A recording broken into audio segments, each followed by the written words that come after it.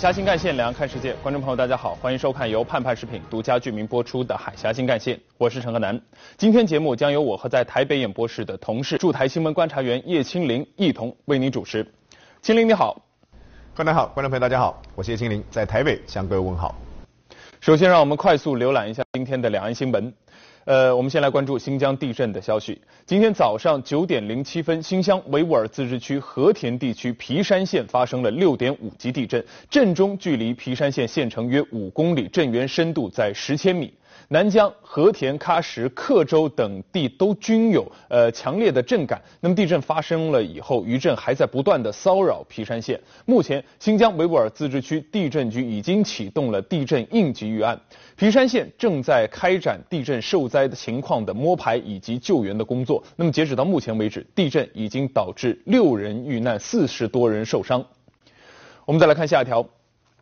据国家安监总局网站的消息，国务院安委会办公室二号下发关于深入开展粉尘作业和使用场所防范粉尘爆炸大检查的通知。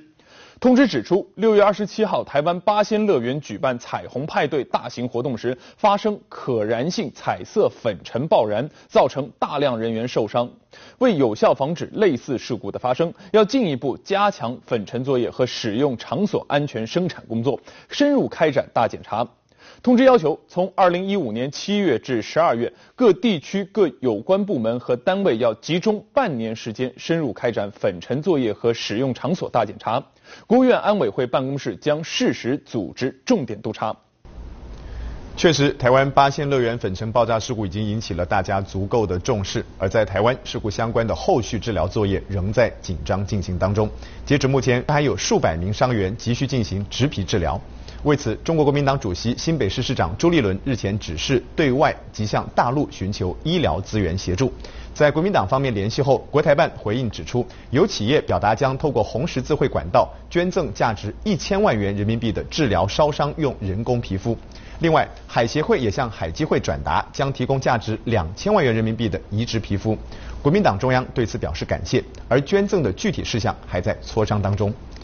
来看下一条。根据台湾联合晚报二号报道，台军方将在七月四号，也就是明天举行纪念抗战胜利七十周年的台湾战力展示。现在疑似因为有外国压力，活动被迫改名为汉光三十一号演习台湾战力展演，原来的纪念抗战字眼都没有了。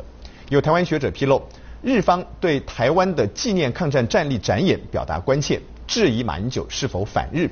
因此，台湾高层下令更改了活动的名称。对此，国民党籍民意代表林玉芳强烈不满。他认为，台当局这种软弱的态度，根本得不到朋友，甚至是敌人的尊重。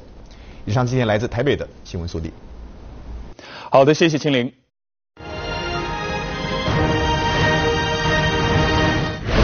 接下来进入今日重磅环节。美国将会与哪个国家爆发一场战争？美国五角大楼在一号的时候发布了新版的国家军事战略，预言美国与一个大国将会发生战争的危险正在增强。那么报告中直接是点名了像是俄罗斯、伊朗和朝鲜，称这三个国家对于美国以及全球安全构成了巨大的威胁。而对于呃在二零一一年的那一版美国国家军事战略中被点名的中国。美国这一次的调门，则是明显的放缓了。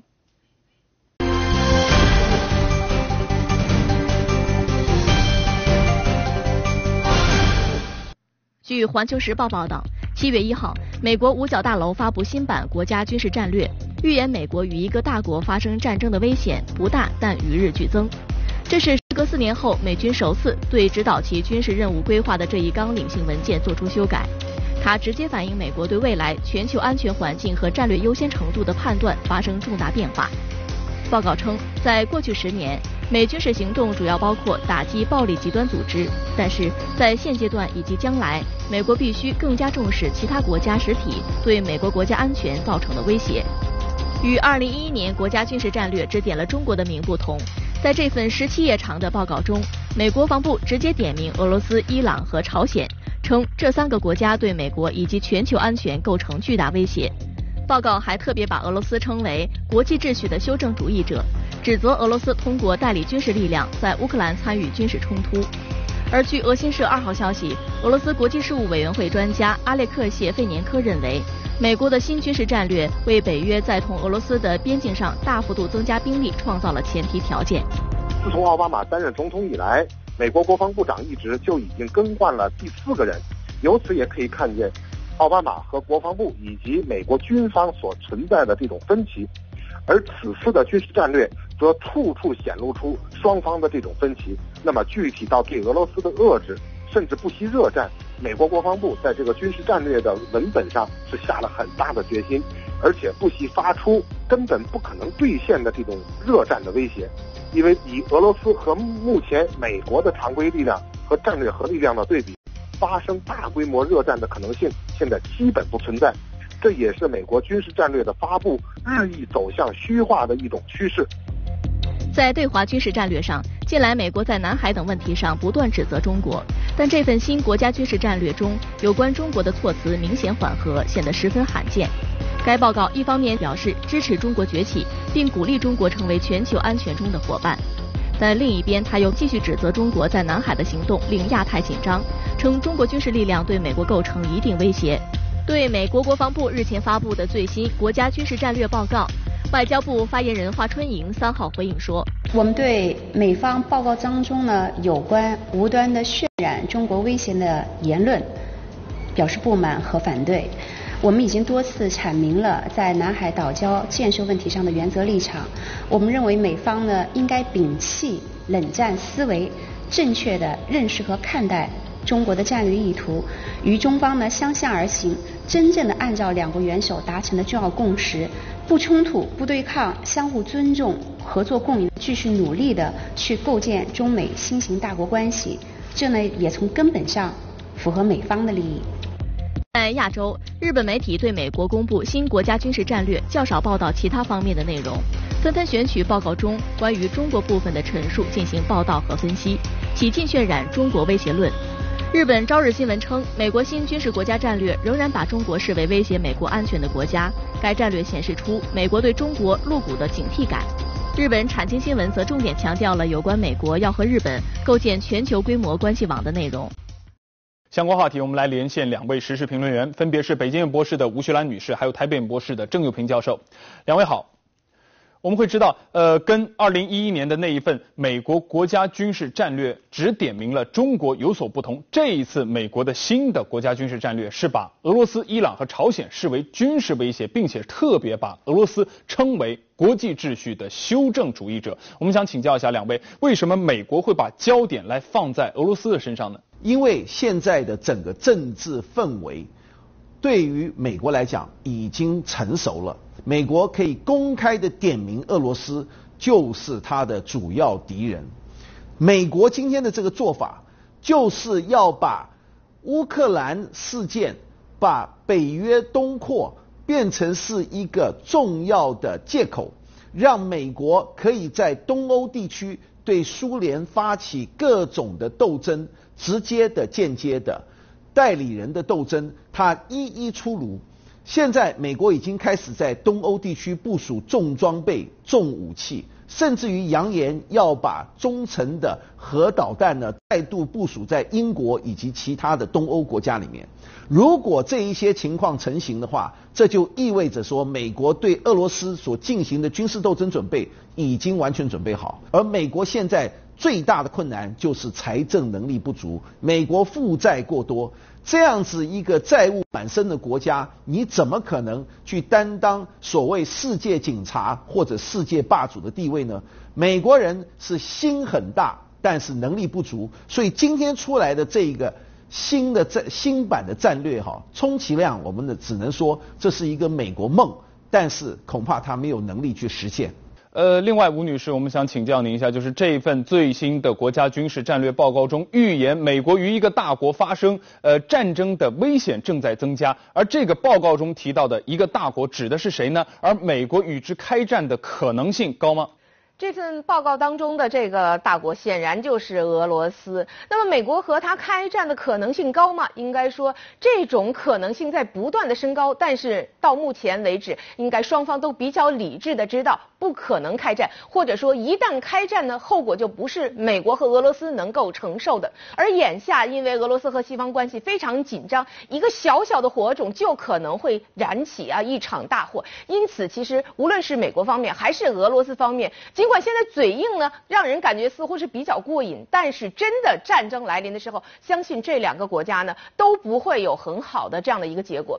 眼下乌克兰东部的局势其实也是非常啊能够反映在未来俄罗斯和美国之间的关系。如果乌克兰东部的局势能够得到缓解，可能俄罗斯和西方的关系未来不会真的走向战争。但是眼下呢，乌克兰东部正在准备举行地方自治选举，所以这件事情的结果其实对于未来俄美之间会不会开战是有一个比较决定性的因素。所以它的选举结果，乌克兰东部能够得到多大的一个自治权，是值得我们关注的。呃，此外，美国也在报告中是指责中国在南海填海造岛，令亚太紧张。但是同时也说，美国将继续与中国保持牢固的一个军事关系，调门是变得有点缓和。我们也想请教您，就是您是如何解读美国在报告中关于中国的这种两面性的表述呢？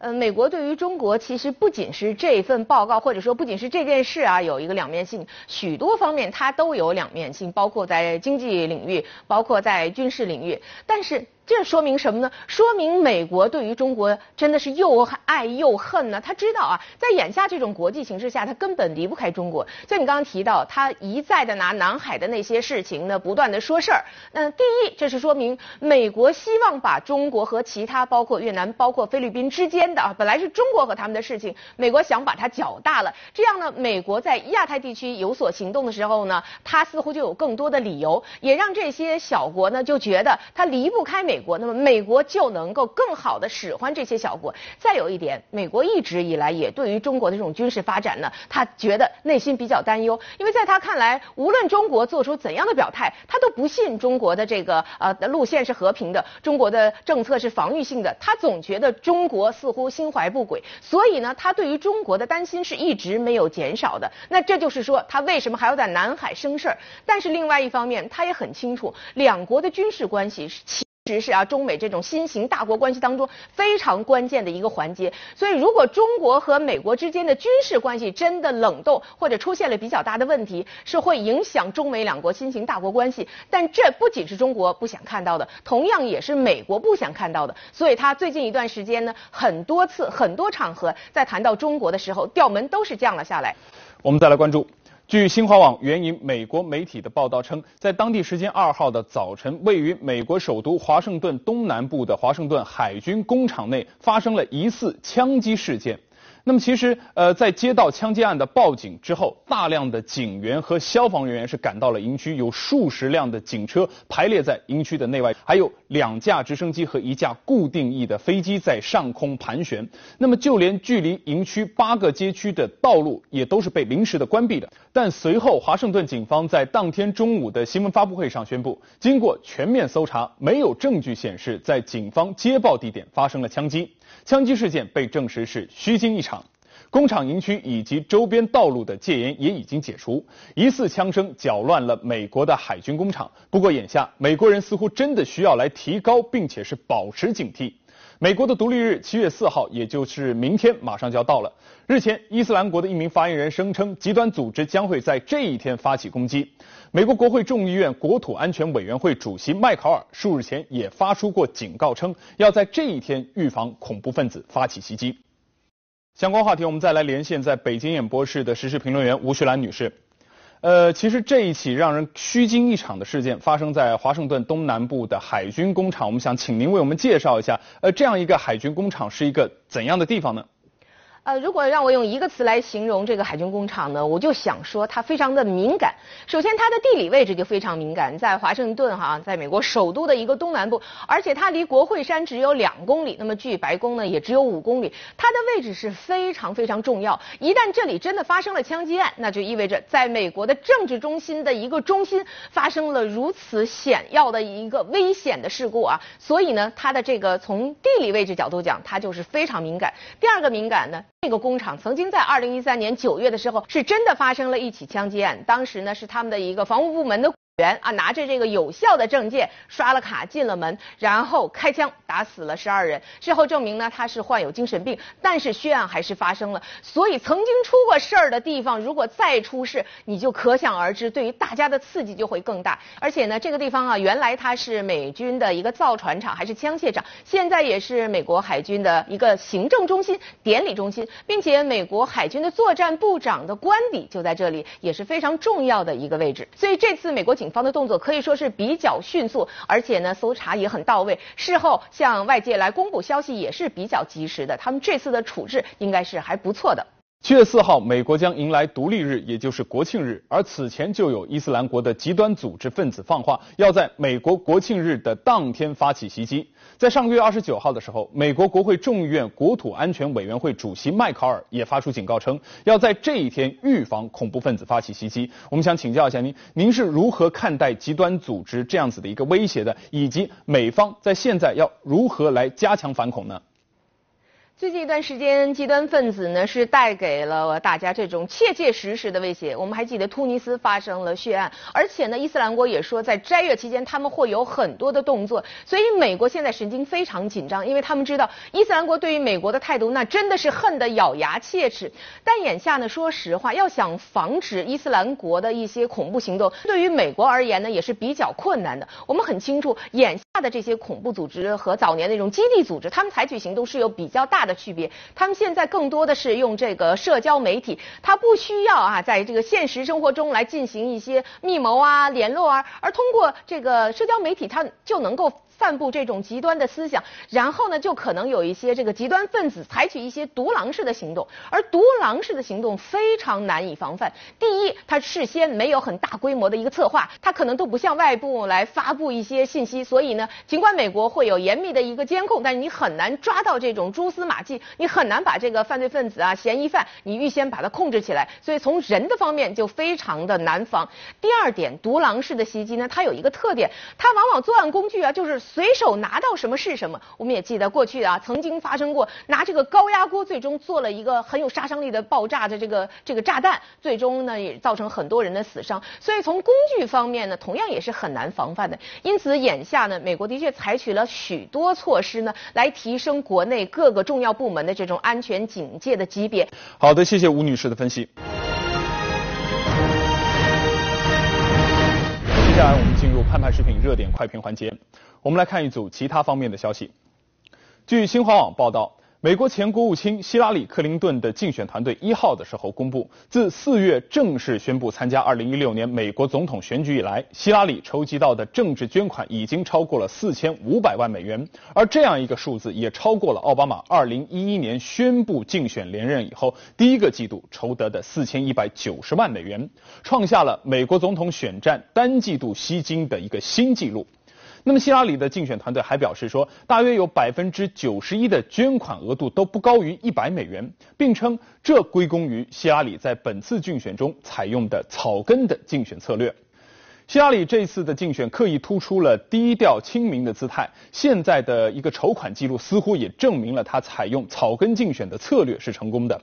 但是，根据美联社的一个调查显示，希拉里政治筹款中的大额捐款其实也不容小觑。希拉里最近几周是频繁的出席了名流参加的小规模筹款活动，这些活动中，支持者最高可以每人捐出两千七百美元。保守的估计，这一系列的活动最多可以筹集将近两千万美元的款项，会占到希拉里阵营所宣称的四千五百万美元总额的至少百分之四十三。那么如此看来，无论是草根还是名流，希拉里都不会忽视。低调亲民只是一个竞选的策略，真正筹款的时候，还是脚踏两只船更为实际。我们再来看下一条，据中新网援引外媒的报道。在当地时间二号的早晨，美国旧金山的两个电视台的新闻记者在街头报道一起谋杀案的时候遭到了抢劫。这起抢劫案发生在早晨的六点钟。事发当时，一家电视台的主播布莱恩·弗洛雷斯正在介绍新闻，正准备切入现场记者卡拉刘的现场播报。但是这个时候，刘却露出了惊吓的样子，并且说：“等一等，等一等。”然后就从屏幕中消失了，导致了新闻直播不得不中断。ATV Fox News Kara Liu live along the Embarcadero where a woman was. Hold on, hold on, wait. Carrie, still there? Sorry, there's an in, there's an incident out here. What's going on out there, Carrie? You doing okay? Okay, looks like there's some type of incident. 那么据了解，原来在卡拉流正要进行现场直播的时候，突然有一名年轻的男子是持枪抢劫。这名年轻的男子是抢走了现场另一家电视台摄像师的摄像机，并且将摄像师是推倒在地，还用枪柄打伤了这名摄像师的手臂和耳朵。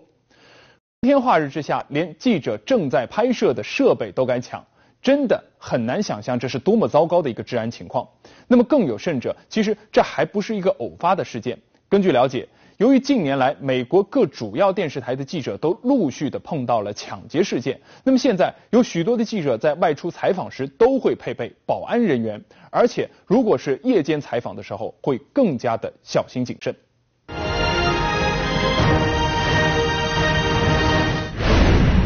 称不满民进党对所谓台独问题模糊日趋国民党化，台湾独派大佬决定筹建新政党。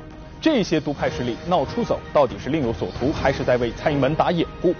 民党传出2016将派出蔡赖局组合，又为何遭到台湾网友奚落？台湾时事评论员郑佑平、江明清有深入分析。休息一下，广告回来，我们继续。欢迎回来，这是由盼盼食品独家居民播出的海峡新干线。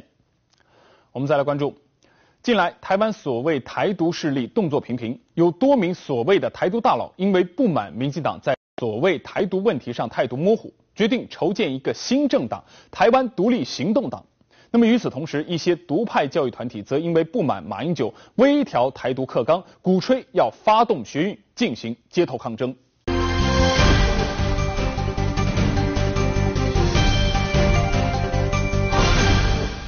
马英九上台后，对岛内所谓台独课纲作出微调，比如慰安妇加上被迫、日本统治加上殖民等，引起所谓独派教育团体反弹，甚至有团体鼓吹要发动学运进行街头抗争。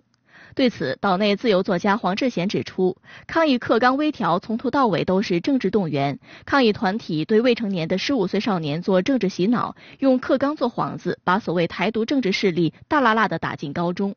除了死死护着所谓台独课纲，岛内所谓独派势力近来更有大的动作。据青绿媒体二号报道，前台湾地区领导人办公室资政彭明敏、吴立培以及秘书长陈世梦等人，在青绿作家金恒伟的串联下，决定筹组所谓台湾独立行动党。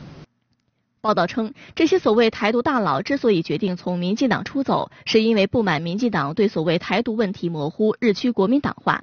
目前暂时内定担任党主席的金恒伟已向台内务部门提出建党申请，并计划推出民代参选人抢攻不分区席次。金恒伟称将支持与他们理念最接近的台湾地区领导人候选人，而目前蔡英文与他们最接近。未来，民进党的归民进党，台独的归台独党，台湾独立行动党将与民进党分进合击，共创双赢。这些所谓独派大佬们的盘算，正如今天台湾联合报的这篇文章《本土阵营平足党想分杯羹》所写的，昭然若揭。只是被他们点名同道中人的民进党主席蔡英文，也有自己的小麻烦。蔡英文的2016选举之路早早启动，但是副手问题却始终悬而未决。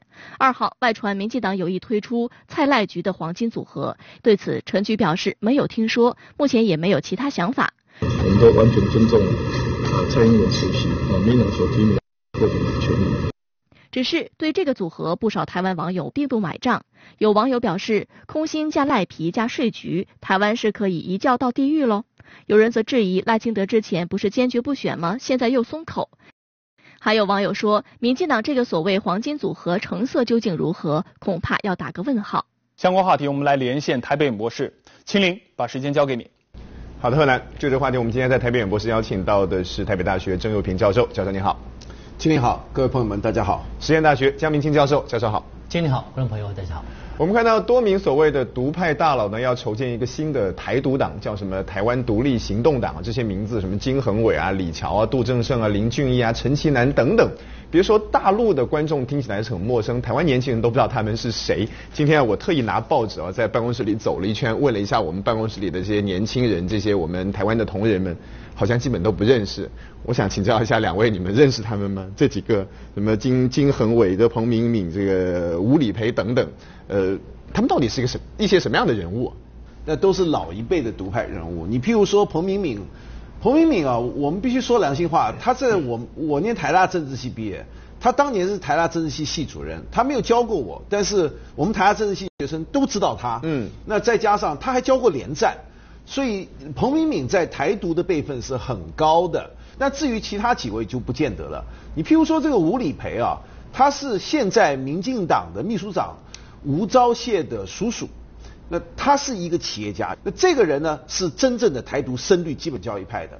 至于说比较年轻一点，譬如你刚刚看到有个金恒伟啊，金恒伟很多人不太清楚，他其实以前还是中国时报的副总编辑呢。那时候他是一个搞文学的人，后来慢慢就开始走偏了，他自己出来搞了一个呃杂志做总编辑，然后他的言论越来越激烈。有一个叫李乔的。这个讲良心话，我真的还不太知道是谁。我依稀知道他好像是搞文学的。这几个人呢，加起来啊，他的年龄大概好几千岁了。我跟你说啊，他们已经离开台湾的政坛很久了。我的看法是，一定是看到现在有很多政治利益可图，觉得说，哎，蔡英文好像这个行情不错了，那绿营是不是选情看好？这种政客啊，就跳出来想要分食啊。是我们看到他们。